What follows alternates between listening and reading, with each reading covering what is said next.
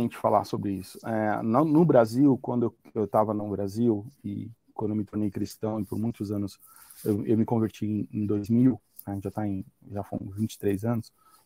É, a gente tem um, uma visão de missão a Euro, é, Europa, Europa não precisa, né? É, porque a gente vincula a missão com, com o PIB do país.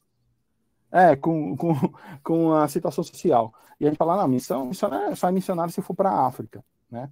Mas tem a ver, sim, com a pobreza, mas é a pobreza espiritual do país. Espiritual. Né? Não é a pobreza... É, hoje, por exemplo, a gente está no movimento dentro da Jocum de tradução da Bíblia de maneira oral, para facilitar depois a tradução escrita. Porque existem... A gente tem tradução em português, tem várias versões no português, mas a gente tem mais de 30 línguas, dialetos no Brasil que não tem tradução nem oral da Bíblia.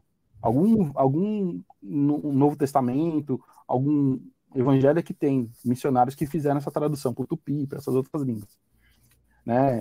A gente tem o Wycliffe no Brasil, inclusive, né? Tem até um missionário que era da Jocum, hoje está no Wycliffe, que lidera esses times.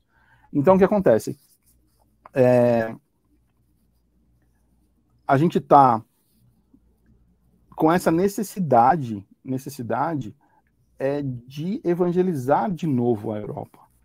Porque é, alguém, eu acho que alguém foi lá no grupo que falou, a, a Europa é como se fosse a mulher divorciada.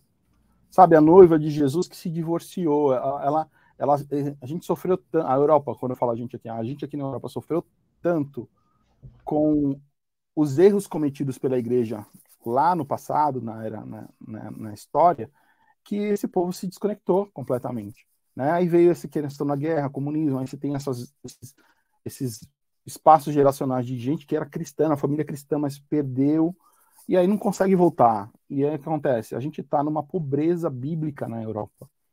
E eu tenho, em contrapartida, a gente tem uma base irmã na Nigéria, que está vivendo um avivamento enorme na Nigéria, na África. Então, eles continuam pobres financeiramente falando, mas eles são ricos espiritualmente de um jeito que a gente não imagina. A gente recebeu agora a, a visita de um, de, um, de um irmão de lá. Nossa, e ele ministrou a gente de uma maneira assim profunda, sabe? Poderosa.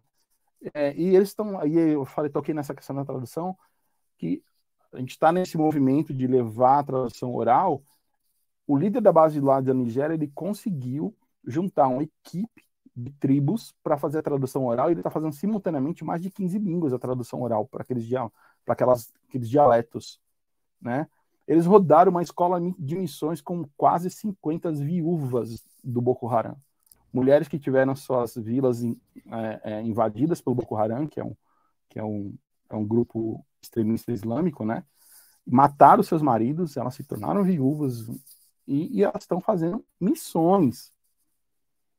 Né? Então, a definição, na minha concepção, a definição de um país que necessita de missionários é aquele país que não tem dentro dele mesmo, né, dentro da nação, igrejas ou povo cristão que seja suficiente para evangelizar todo o resto da nação.